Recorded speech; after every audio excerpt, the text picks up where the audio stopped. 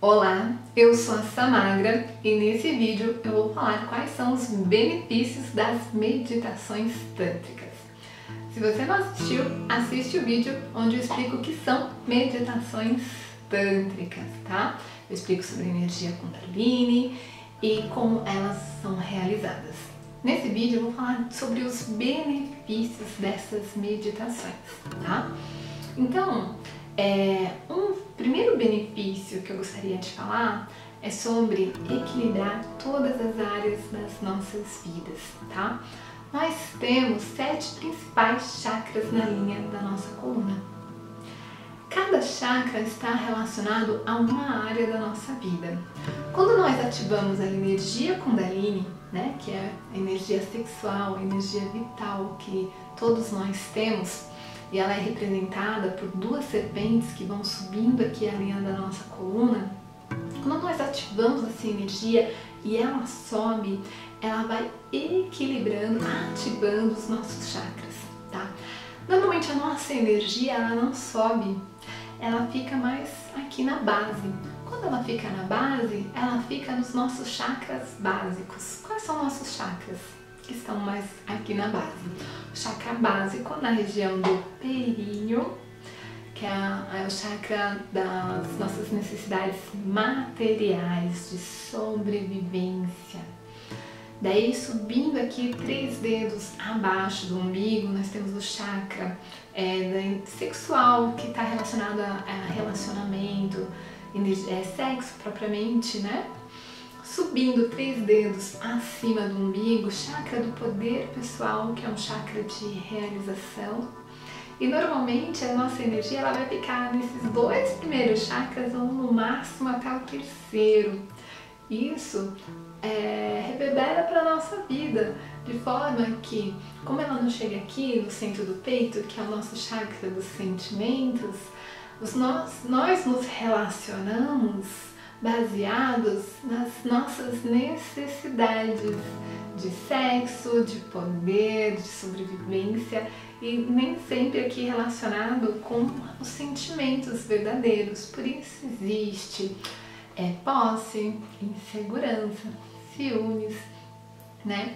Quando nós é, estamos conectados com os nossos sentimentos de amor verdadeiro que está aqui no seu peito, quando nós nos conectamos aos sentimentos, nós nos relacionamos para doar amor, para contribuir com a vida do outro. Se a gente não tá com essa parte equilibrada, a gente se relaciona para que o outro nos complete, para que o outro nos preencha, para muitas vezes pode estar relacionado ao sexo, poder, enfim, como eu já falei. Quando essa energia sobe e vem aqui para o centro do peito, a gente começa a liberar, a soltar, a soltar as dores, as mágoas, a liberar perdão, a deixar o amor fluir. E daí a gente começa a se relacionar com uma outra qualidade. E a gente começa a a, a, a própria questão de sobrevivência, né? Ela começa a ter uma outra qualidade que está muito mais conectada a, ao amor, né? À sua missão, ao seu propósito, do que só a sobreviver. E o próprio também poder de realização também idem, né? A mesma coisa, está relacionado muito a essa questão. Você começa a, a não querer ter poder sobre os outros, né? Mas a se empoderar. Quando você se conecta aqui com o seu coração, quando o seu chakra começa a expandir amor, o seu chakra Vishuddha, que é o chakra da expressão, da comunicação, que antes se expressava para conseguir aquelas necessidades básicas dos chakras mais básicos, ela começa a expressar a sua verdade. E você não consegue mais falar um sim quando o seu coração está dizendo que é não. Você se conecta com o seu coração de tal forma que o seu Vishuddha, ele expressa a sua verdade. Você pode até muitas vezes falar algo que não é o que o seu coração está falando, mas você vai sentir um incômodo, você vai ficar falando, nossa, Você vai estar muito é, consciente de que você está fazendo isso com você. Porque muitas vezes a gente faz isso com a gente sem estar consciente. A gente já é o piloto automático, a gente aprendeu assim desde criança que a gente tinha que agradar, que a gente tinha que ser obediente, que a gente tinha que seguir tudo que foi colocado pela sociedade, pela família, pela religião. Então a gente aprende isso muito desde pequeno. E a gente acha que é o normal. Quando você se conecta, muitas vezes você quer falar, fazer algo que está contrário a tudo aquilo. E daí você consegue, porque é como se você encontrasse uma força interior que você não conseguisse mais mentir para você, tá? Subindo essa energia aqui na região do terceiro olho, nós temos o chakra da intuição. Então você começa a se conectar com a sua sabedoria interior. Então é, parece que você não mais fica racionalizando, é como se tivesse algo aqui que te falasse exatamente o que você tem que fazer, para onde ir. É uma sabedoria, uma intuição que fica mais aguçada, tá? E o último chakra está aqui no topo da cabeça, o chakra coronário, da sua conexão com o divino, com o ser espiritual que você é, com o ser divino, com Deus, com a deusa que você é e sempre foi. Então, a energia Kundalini, ela, quando ela some, ela vai equilibrando toda a sua vida.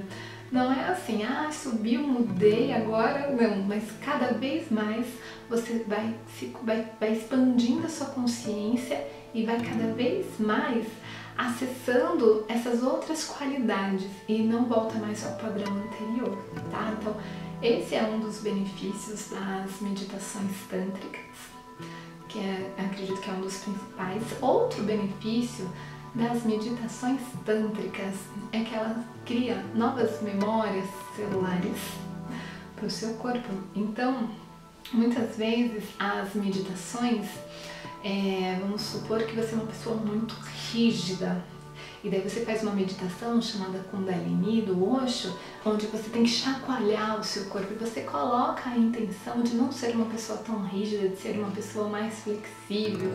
Então você começa a criar novas memórias celulares para o seu corpo. Tá? As meditações, elas sempre têm movimento, som, respiração. Então você começa a colocar intenção.